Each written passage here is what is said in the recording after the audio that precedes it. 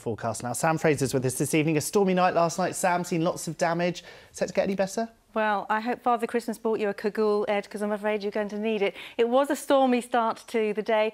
And for tonight, well, we're expecting more strong winds and some heavy rain. They're all coming courtesy of a weather system making its way into the region overnight. It's going to bring some very heavy outbreaks of rain at times.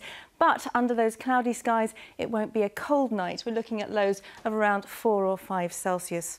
On to tomorrow then, and that overnight rain has cleared by Saturday morning. Inland we'll see uh, some good dry spells, some bright sunshine too, and it'll be mild, top temperature perhaps 13 Celsius.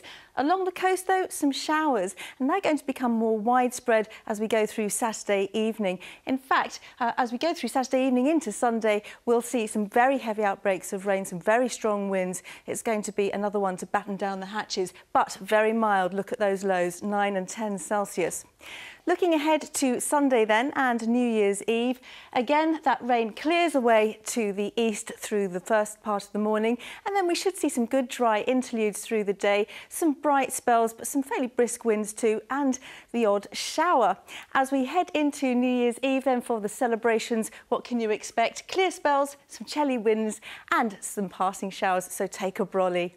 As we head into 2018, it's a, a fairly standard picture cloud, some showers and feeling pretty cool. Happy New Year. I'll keep my cagoule at the ready. Sam, thank you very much indeed. That is it from us two for now. We're both back at 10 past 9 this evening here on BBC One.